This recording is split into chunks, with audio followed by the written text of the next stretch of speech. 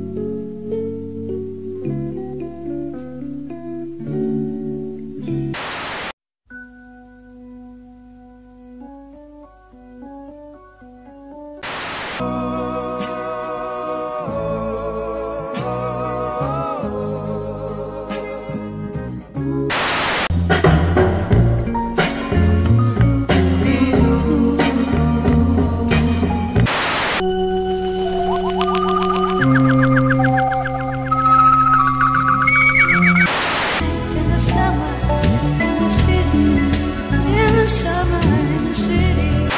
Ladies and gentlemen, welcome to the cave. If this is your first time finding me, I do a lot of giveaways. All you have to do to win is comment on this video and subscribe to the channel. Today we're going to dive into the 1996 release, ATLiens. Okay, so after 1994, Southern Playalistic Cadillac Music went certified platinum. LaFace Records gave Outkast more creative control and more advance money for their follow-up album. Well deserved. I mean, they recorded their first album at 18 years old. So they're right now they're living it up. A part of that living it up, Andre 3000 could afford to do whatever he wanted to do. He started dressing a little bit more different, whatever you want to call it. He became a vegetarian, but on the first album, he had already said something about not eating beef and pork. So I think he was a vegetarian from before. Okay, so Andre stopped smoking weed. Big Boi is doing some serious life changes as well. In 1995, his girlfriend gave birth to his first child. So we're going to get completely different cats on this album. So that says a lot. I mean, when you think about the first album, a big part of what they had to say was talking about smoking and chilling, and they had a whole song dedicated to that. So through the entire process of Southern Playalistic Cadillac music, neither member were involved in the production process at all. That changed quickly within purchasing beat machines prior to recording ATL. So for the first time, these two are both looking to be more involved in production. And for the first time, Big Boi is a father. I sense a lot of growth, a lot of inspiration all over the place. Let's dive in. Wait, wait, wait, wait. Hold up. Before we move forward, can we talk about the artwork? I know that this isn't the first time it's been done. I mean, the GZA just released Liquid Swords, but these two as animated characters on the cover of a comic book is so dope. I mean, 1996, I'm 11 or 12, so it resonates with me immediately. LaFace Records reached out to Frank Gomez, who illustrated the duo as superheroes in a room full of dark, monster-sized villains. They won me over with the artwork alone. I didn't need to hear elevators to want this album. Are they superheroes? Are they villains? Who are they fighting? Oh, and just in case you're wondering, Frank Gomez would go on to draw for a few comic books, but mostly known for working in the Marvel Animation Studios, developing Guardians of the Galaxy, the TV series, as well as Hulk and the Agents of Smash. But that's enough of that. Let's get to this hip hop. Two dope boys. Immediately, we're introduced to the same robotic alien voice from the last song of their debut album, which is dope with the continuity from last album to this album. But aside from that, this one has a southern boom bap hip hop feel. You can see the growth in the duo already. Keep in mind they were 18 years old when they recorded their debut. This time around, not only are they more seasoned, but also growing as artists, mastering the art of writing a beat. Dre even threw in a little bit of storytelling in there. This is dope hip hop music. It's a great way to set the tone for the album. ATLiens. More spaceships, but more dope production.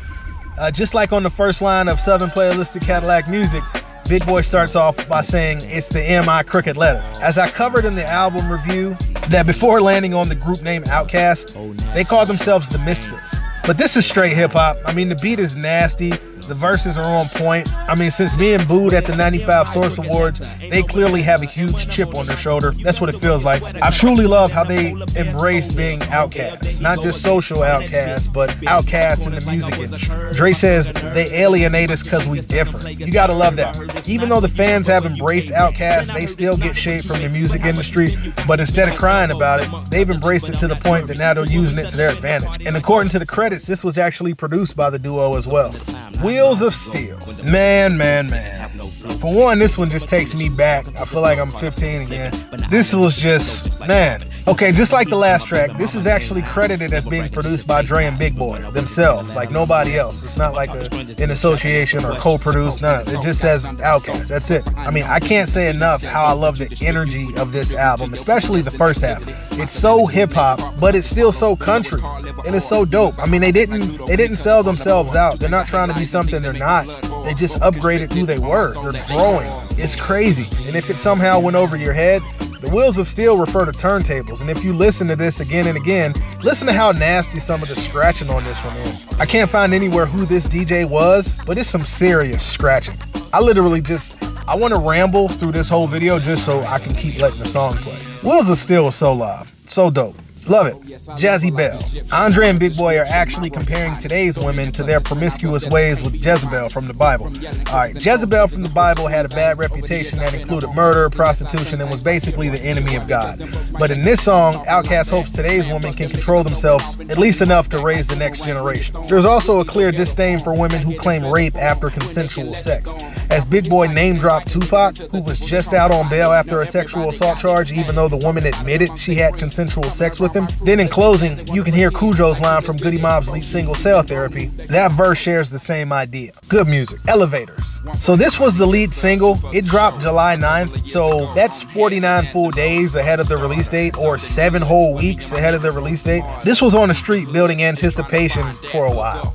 We're talking like two whole months this thing was playing and radio rotation, all of that. But if you listen to the song, it details Outkast's rise from nothing to something. Capped off with an insane verse from Andre 3000, which is straight storytelling hip hop, dope, dope, dope music. It was actually a line from Big Boi's verse where he said, We're moving up in the world like elevators. That's what named the track. But you can't say enough about this one, so I'm not gonna try. Over the Woods. Here's a filler track. I mean, it really fits the vibe of the album right now. Nothing truly notable to report. It's two Big Boi verses with a 3000 verse in between. It's cool. I mean, it's nothing amazing, but it's slick. Babylon. More biblical references. Andre sees America as the Bible's version of Babylon, which embodies greed, lust, and evil. This one is a bit of a change up. It's not on the level of production as what we've heard thus far on the album, but this is mostly about faith. Similar to the track Jazzy Belle. They're speaking about what they see, and they're hopeful that people will change for the greater good. Wailin'. Outkast wails on the competition here. I love hearing Big Boi grow as an artist. His lyrics are like in the moment, so they tell the audience what year it is without having to tell them what year it is. Like he mentions OJ was found guilty. That happened in 95. He name drops Keyser Söze, who was the lead character in the 1995 film The Usual Suspects. Or even earlier on Jazzy Belle, he referenced 1995's Waiting to Exhale or 1994's Dumb and Dumber. So you know exactly what year it is just by listening to what he has to say. Mainstream. Good substance. It features T-Mo and Khujo from the Goodie Mob. Uh, this one touches on the struggle to survive in the hood and how to thrive, especially after success. When you look at it from that standpoint, it's deep. It kind of gives you a different perspective than just, you know, trying to come up and trying to get out the hood. Well, these cats are in a point where they are technically can be out the hood if they want to, but now they still have to deal with different things. Dope perspective. I can appreciate perspective. Decatur Psalm. Yet another Bible reference. The vibe of the album has completely changed. Not to say that this isn't good music, but it's a completely different feel than the first half of the album. It's a lot more features during this stage of the album as well. This one has Big Gipp and Cool Breeze, and this is the only song on the album that doesn't have Andre in it. Still more Bible themed music as you can hear from the choir harmonizing as the song fades out. Millennium. This time, Dre feels like he's going crazy for believing that there is a God. Then his shaky faith makes him question if the devil is infiltrating him. Big Boi touches on equality and the civil rights movement. It's filler, but it's still good music. It's a lot. It's a lot of substance. A lot more solar system talk too, if you if you catch that in there. Extraterrestrial. This one you're just waiting for the beat to drop, but both Big Boi and Andre drop sick, sick, sick verses over the simplest of beats. I don't even really want to call it a beat. It's just like a, and it's very subtle. It's not really much production whatsoever. But Outkast has fully embodied this whole extraterrestrial thing, and I love it. I mean, who else is taking that angle? They already said, you know what? We're coming from the south. Y'all ain't gonna respect us as MCs. Y'all ain't gonna respect us as hip hop artists. It's like we aliens. Watch this. I love it. 13th floor, growing old. So 13th Floor features Big Rube, who was a first generation Dungeon family member and was actually a member of the Society of Soul. I kind of clown the Society of Soul on Outkast's first album because they had a solo song on Outkast's album, and I'm like, yeah, we just want to hear Outkast. But Big Rube was an original member. This most definitely would not be the last thing Big Rube would be featured on, but we'll get to that at another time. Talk about ATL and poetry, all that. But he does spoken word. Anyway, on Growing Old, Outkast ponders their future. I mean, to me, it feels as if Outkast wants to show their growth and come from a more mature place. It's hilarious that Andre 3000 uses some insane wordplay in his few verses, but something he says that goes unnoticed is that we ain't gonna stop until we hit the big screen. Wait, what? now, in this moment, we had no idea he would become a top five level MC. He would star in movie after movie after movie after movie and not release music. Right now, all we see is hunger. Young Southern cat, hunger. 20, 21 year old hunger. He trying to come up. He want to make a name for himself. He want to be respected. South got something to say. But he said, we ain't going to stop until we hit the big screen. Was he foreshadowing? If that's the case, then he did exactly what he said he was going to do. He put out a few albums, got respected, made a lot of money, and then eh, going to movies. Boom, boom, boom. Boom. Hey, I respect it either way. When listening to this all over again, you hear stuff for the first time you didn't hear before. But let's keep it moving. I'm not going to spend any time on Elevators, the remix. It's just, you know, as I said before, uh, the original Elevators, which is Me and You, was allegedly produced by Outkast. So this one was produced by Organized Noise. It just made its way on the album. So as I said earlier, Outkast self-produced a few tracks on here. Surprisingly, the dopest beats were produced by Outkast. I mean, ATLiens, Wheels of Steel, Elevator. The less energetic tracks were produced by Organized Noise. But this album proved that Outkast weren't just a fluke after their debut. They actually got better. It took it a step further. This album has a completely different feel.